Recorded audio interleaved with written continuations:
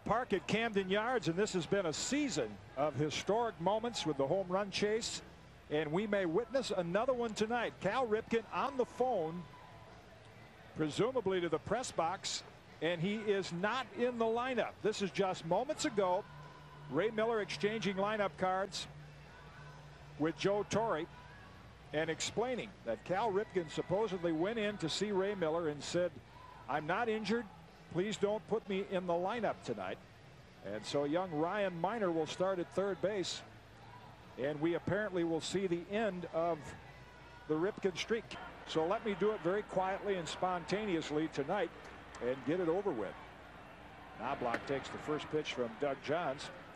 Out of the Yankee dugout since this is an official game it has started in as a group the Yankees left the dugout gave Cal Ripken an ovation of their own out of respect, which was a very classy maneuver. And now the fans rise as one.